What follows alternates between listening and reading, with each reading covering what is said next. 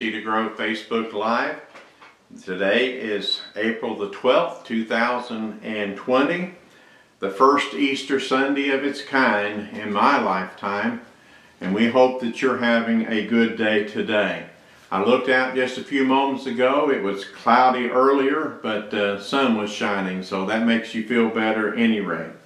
Uh, again, we uh, welcome you to this Resurrection Sunday. And, and without uh, the resurrection of Jesus Christ, we have no hope. There is no Christian faith without that resurrection. We're so thankful for that resurrection day. Uh, and today we're going to look at some of the proof for the resurrection. I can, again, I just want to rem remind you to be in prayer. Be in prayer for our nation, for our president, vice president, all of our leadership, uh, governor and, uh, and our local uh, uh governors and local governments as well. Be in prayer for them, and we need they they need your prayers. Be in prayer for your churches. Be in prayer for the sick, those affected by and infected by this virus. Be in prayer for them, and pray that God will lift up this virus today.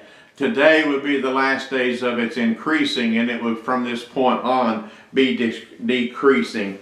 Uh, continue to pray uh, again uh, for not only our leaders in our church, but we pray for those that are shut-ins, especially those in nursing homes and, and assisted living homes. Remember them in prayer and, and lift them up. Right now it's hard on everybody and, and uh, I've never seen an Easter like this in my lifetime uh, and I would dare say neither have you. But we need to, to lift this up in prayer and it's my prayer uh, that this would turn, this uh, uh, would turn around and it would be a great revival of moving across our land as we've seen on Facebook and other places. Uh, more things about the gospel this weekend and more things about the resurre resurrected Christ. We need to just lift up and pray for revival across our land. Uh, again, uh, just remind you to uh, if you would like to give to Cedar Grove, our people, uh, especially that give their tithes and offerings, encourage you to give to cedargrovebaptist.com, uh, uh www.cedargrovebaptist.com, and you can click on online giving or send it to Cedar Grove Baptist, 1289 Cedar Road, Stamping Ground, Kentucky, 40379. Encourage you to give, and don't forget uh, that this Wednesday night we will be back with you at 6 o'clock Wednesday evening uh, with a continued study on the book of First John. We'll continue in chapter 2 of First John. Today we'd like you to have your Bibles, if you would turn to what is commonly called the resurrection chapter uh, in the Bible, and that's 1 Corinthians chapter 15. If you'll be turning there in chapter 15 of 1 Corinthians, uh, we want to read some passages there and give you some thoughts concerning the resurrection. In our Christian faith, everything about our faith hinges on the resurrection of Jesus Christ from the dead. He is our hope, and He is our only hope. Uh, and in him we place our hope of the resurrection of, of life, that one day we will be with him in eternity. You found 1 Corinthians chapter 15. Again, just put your finger in your Bible and, and let's say our confession this Sunday morning, especially this Sunday morning. It's on Easter Sunday, and we thank God for it. This is our confession. This is my Bible. It is a holy, inspired Word of God. It is the truth of God without any error. It tells me what to believe and what not to believe, how to behave and how not to behave. I am what it says that I am. I can do what it says I can do. I have what it says I have. I count it so in Jesus' name. And I pray today in your heart you'll say amen and amen to that truth. Today, if you'll uh, read along with me in 1 Corinthians chapter 15. I'm going to begin in verse 3 and you read along with me please. And the scripture says the following. Paul writing says, For I delivered to you first of all that which I also received, that Christ died for our sins according to the scriptures, and that he was buried, and he arose again the third day according to the scriptures, and that he was seen by Cephas or Peter, then by the twelve, and after that he was seen by over 500 brethren at once, of whom the greater part remains to the present, but some have fallen asleep. After that he was seen by James, then by all the apostles, and last of all he was seen by me also as one born out of due time. Skip down to verse 12, if you will, please, and let's continue this study of the resurrection. And that day, uh, if you need to remember that the book of First Corinthians is a powerful book, but it was written for the purpose of correcting some uh, uh, false teachings in the church. So he begins in verse 12 and says, Now if Christ be preached that he has been raised from the dead, how do some among you say that there is no resurrection of the dead? But if Christ, but if there is no resurrection from the dead, then Christ is not risen. And if Christ is not risen, then our preaching is empty, and your faith is also empty. Yes, we have found we are found uh, false witnesses of God because we have testified of God that He raised up Christ, whom He did not raise up, if in fact the dead do not rise. For if the dead do not rise, then Christ is not risen. And if Christ is not risen, your faith is futile. You are still in your sins. Then also those who have fallen asleep in Christ have perished. If in this life only we have hope in Christ, we are of all men most pitiable. But now Christ is risen from the dead and become the firstfruits of those who have fallen asleep. Let us pray. Father, we thank you for your word. Now, Holy Spirit, we pray you'll come and teach us and guide us in your truth. And Father, open hearts and minds of those that are listening today, that there might be some that would hear, and maybe for the first time, your Spirit speak to their heart and draw them out into yourself others of us who know you as our Lord and Savior, may we be encouraged in our faith and more bold in our faith than ever before and proclaim the death, burial, and resurrection of Jesus Christ for the forgiveness of sins. In Christ's name we pray. Amen. Paul says in our text that if there is no resurrection, our faith is futile or empty, vain, void worthless. In, in other words, if Christ did not raise from the grave, we have no hope at all. For there is no one else to turn to in all the world's religions. Uh, find one that has uh, come up from the grave. All of them are dead. And if Christ be not risen, he would be just like one of them. But he concludes that Christ is risen from the dead. And therefore, Paul and all the other apostles affirm that Jesus did raise from the dead and that he is the firstfruits from the dead and we are to follow him in due season, that is, in our turn. But the resurrection of Jesus is a historical event verified by physical evidence, first of all, by physical evidence. In the book of John, when the, the, message was told to the apostles in the upper room there by the women, uh, that, uh, that, that the angel had said, He's not here, He is risen. And they began to run. John and Peter ran off to the grave. And it says here in verse 5 through 7 and John 20, And he, that is John, stooping down and looking in, saw the linen clothes laying there, yet he did not go in. Then Simon Peter came following him and went into the tomb, and he saw the linen clothes laying there, and the handkerchief that had been around his head, not lying with the linen clothes, but folded together in a place by itself. These two witnesses witnessed the empty tomb where Jesus had been laid that first Easter morning. The grave cloths were empty. In other words, they had uh, put a wrapping around Jesus, that linen cloth around Jesus, and wrapped him up as was the custom of that day. They wrapped him up in that linen clothes and so that he was uh, basically tied up in there. He could not get out on his own, uh, on his own uh, physical ability. But that linen clothes was empty. uh, he didn't uh, unwrap it, he just disappeared out of it. And then the handkerchief that was over his face was folded, and by saying, Now uh, that it, it is ended, it's over, it's finished. And so Peter and John witnessed the same things that morning, and the physical evidence was that the grave was empty and the grave cloths were gone and were empty. And so uh, these were eyewitnesses. Not only was there physical evidence, but then there were eyewitnesses. Notice what Paul said in this first uh, part of this chapter. He said in verse 5, 6, 7, and 8, he was seen. Paul mentions five appearances, or six appearances actually, uh, here in this text. Notice verse 5, seen first of Peter, and then the apostles. That's two right there. And verse, uh, uh, verse 6, the 500 at one time. Uh, listen, 500 people is not going to have the same vision or illusion at the same time.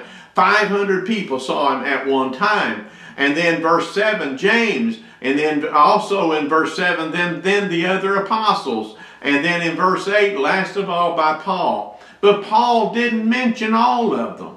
There are others recorded in the Gospels. For example, Mary Magdalene and the other ladies that went to the tomb that day to anoint his body, uh, the two disciples on the road to Emmaus, uh, when Jesus appeared and walked with them until he broke the bread, they didn't, their eyes were open to where they would know it was him. Uh, and then that evening, the resurrection day evening, that's why it's important to go to Sunday night church, folks. Uh, you might miss something. All the apostles, 10 of the apostles were there, but Thomas was missing. And Thomas said, I won't believe unless I can feel the nail prints in his hand and put my hand in his side. And, and the, the next Sunday night, he appeared again, and Thomas is in the presence, and he says, Thomas, uh, reach out your hand and touch me.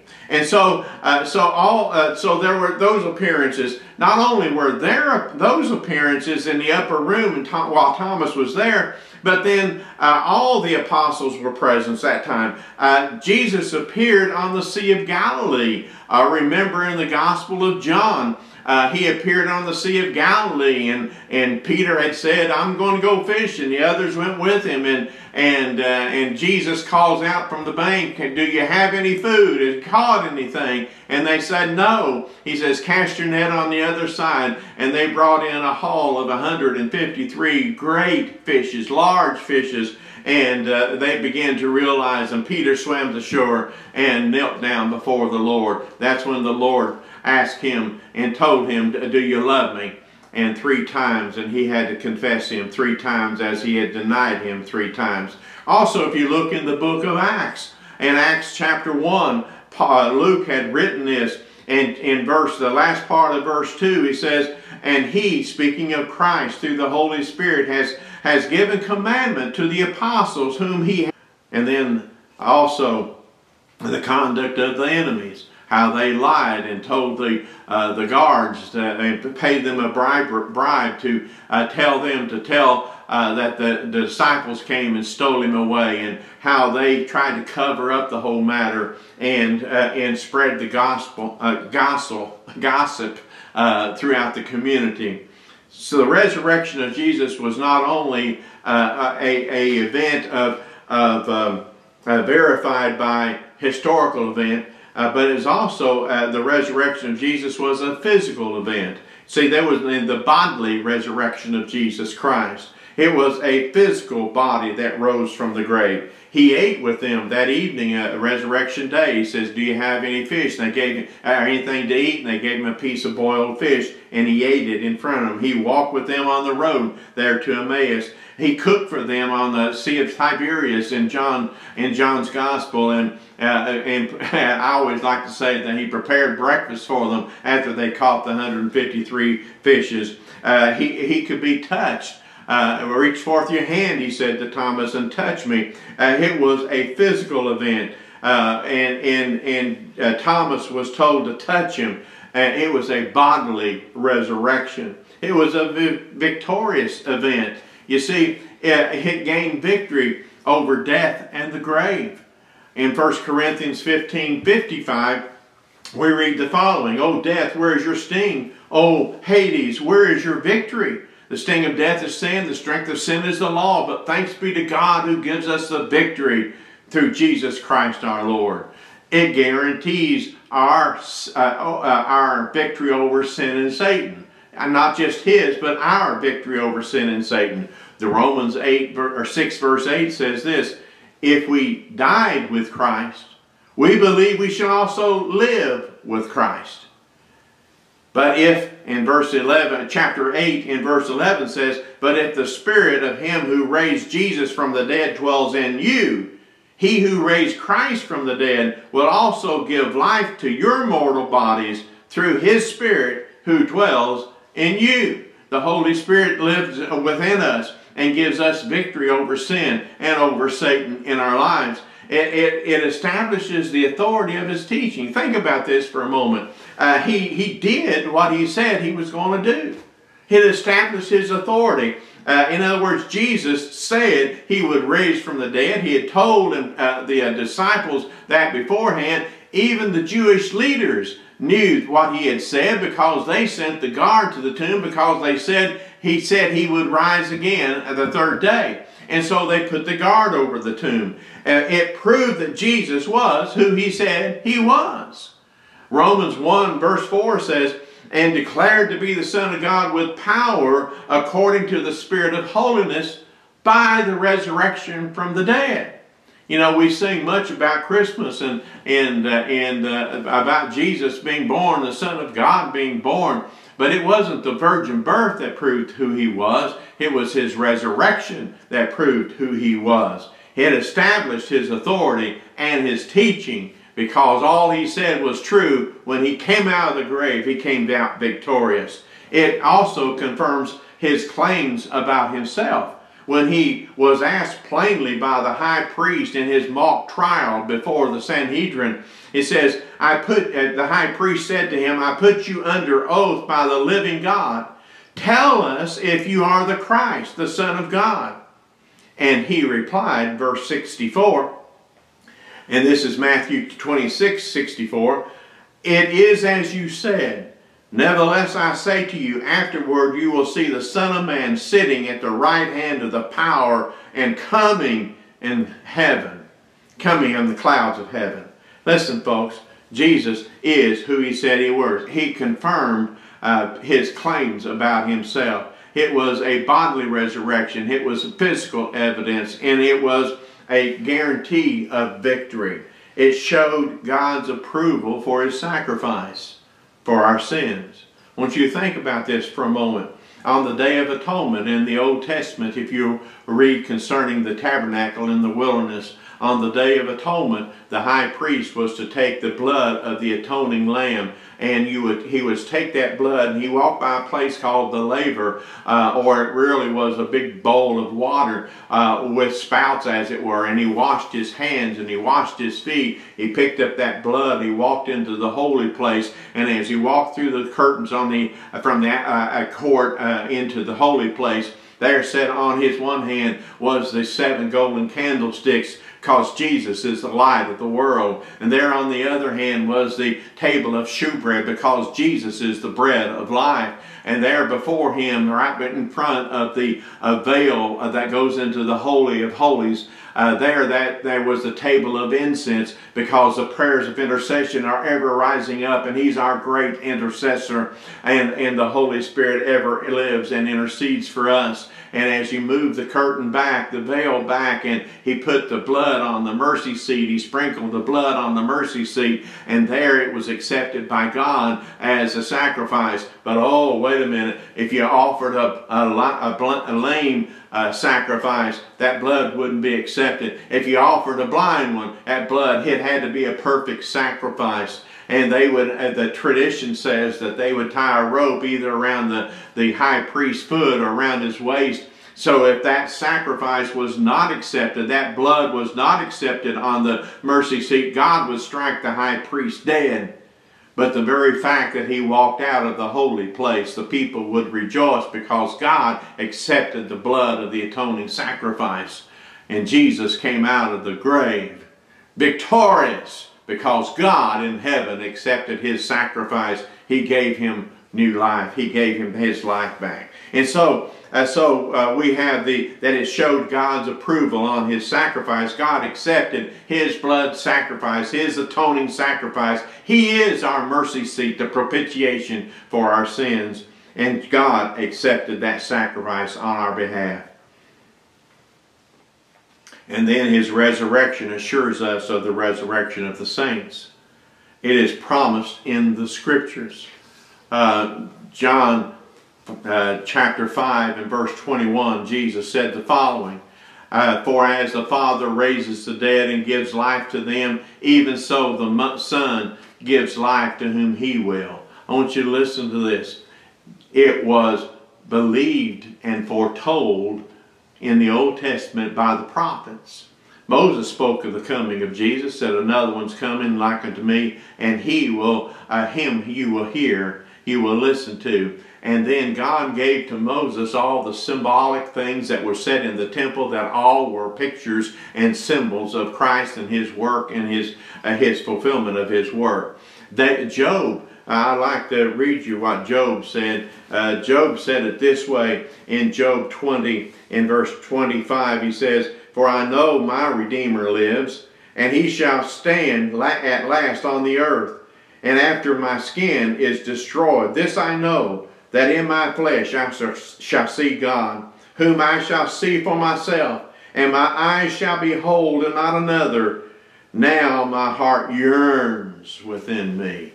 Oh, Job looked for a resurrection. It was prophesied and promised to the uh, to the uh, to the saints of God.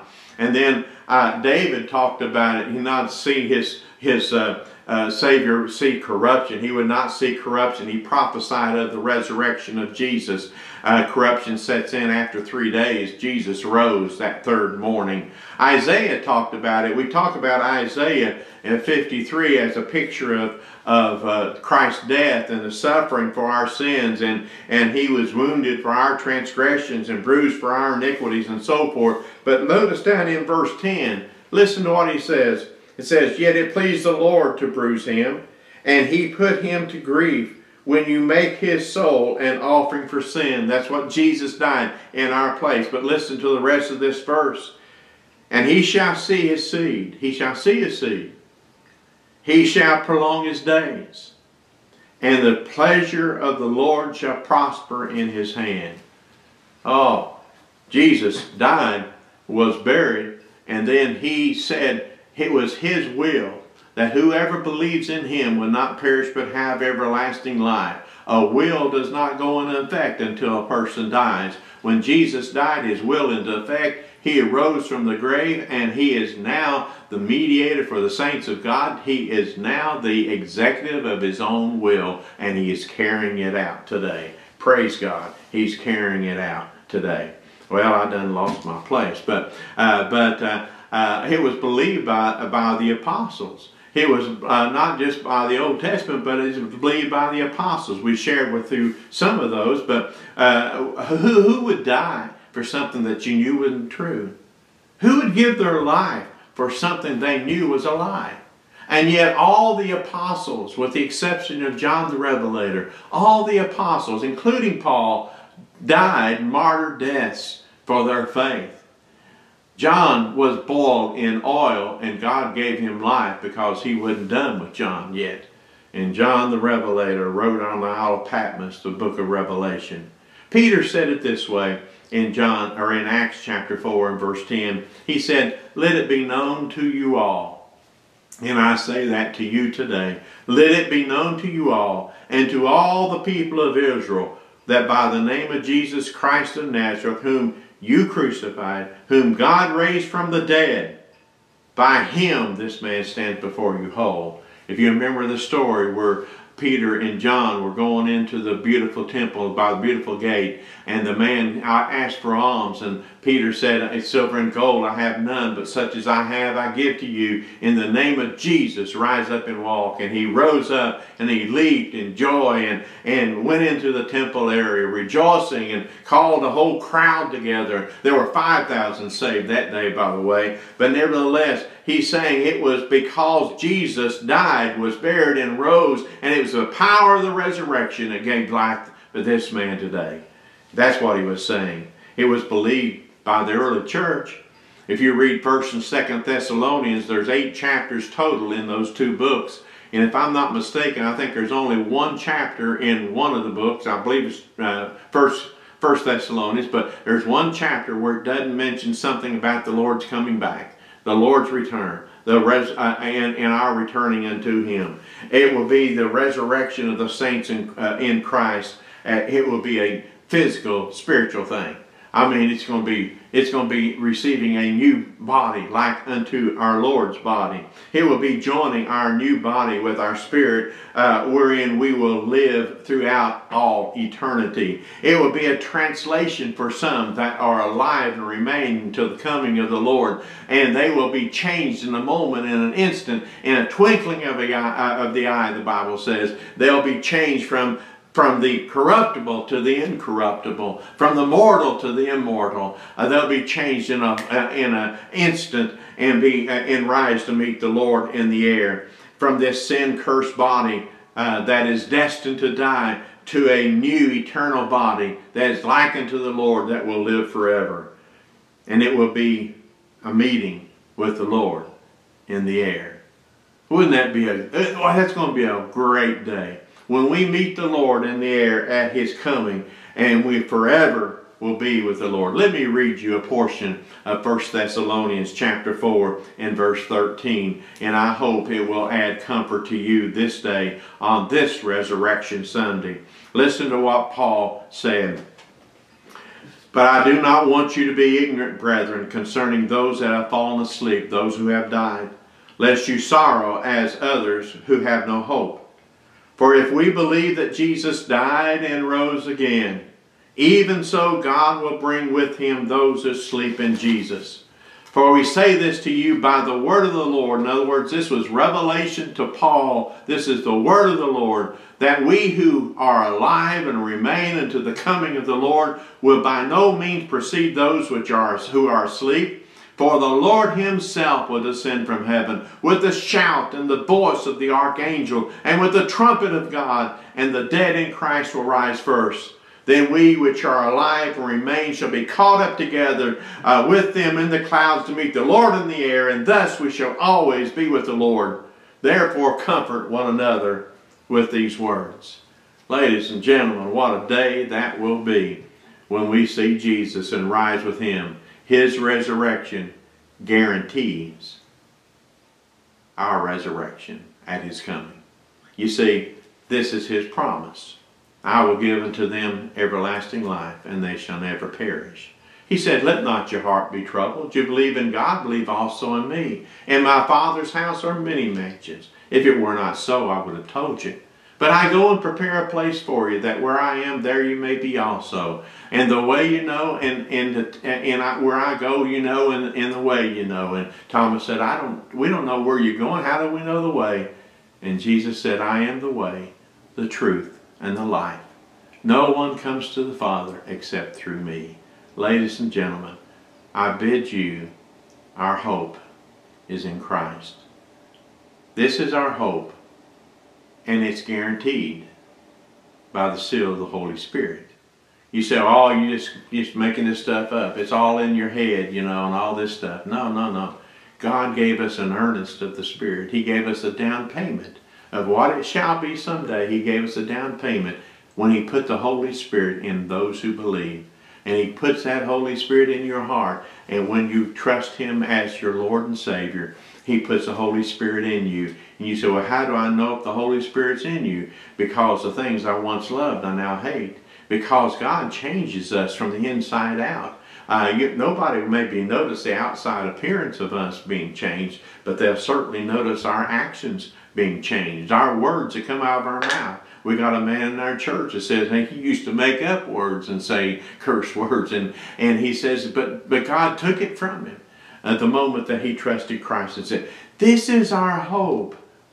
This is the guarantee of the Holy Spirit that convicts you when you sin, when you do things wrong. And, and we're commanded not to grieve the Holy Spirit because, man, God deals with his own children. He don't do, you say, well, how can the world go on like it is? God don't whip the Satan's kids. He, but he does chasten his own. And I just challenge you today to receive this promise that he's given to us. This is our hope, guaranteed by the seal of the Holy Spirit of promise that is within us. We're not here today to celebrate the dead, but we are here because of the hope of life that we have in Christ Jesus. Because he lives, we can live also. Do you know him today? Has there ever been a time in your life when you repented of your sins and asked Jesus to be Lord of your life? The Bible says, with the heart man believes unto righteousness. And the heart is not a physical heart, it's the center of your being, who you really are. You believe or put your faith and trust, reliance upon Jesus Christ, that He died for our sins, that He was buried and He arose again. You believe in your heart that God raised Him from the dead. Thou shalt be saved. You confess it with your mouth. Confess Jesus as your Lord and Savior today.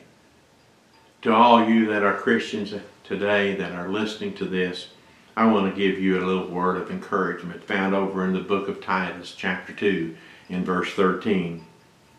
Looking for that blessed hope and the glorious appearing of our great God and Savior, Jesus Christ. Are you looking today? Lift up your eyes and look into the hills from whence come our help. Ladies and gentlemen, I challenge you today. Put your faith and trust in Christ. Do you have that hope today? Do you know Him today? Would you repent of your sins and ask Jesus to be Lord of your life today? I hope you will. And this will be the greatest resurrection in your life when you make Jesus Lord. I trust you have a glorious day. I trust that you will re uh, receive Christ if you don't know him. And if you do know him, you'll rejoice in the glory, looking for and hastening until the day of his return. God bless you. Have a glorious day. Amen.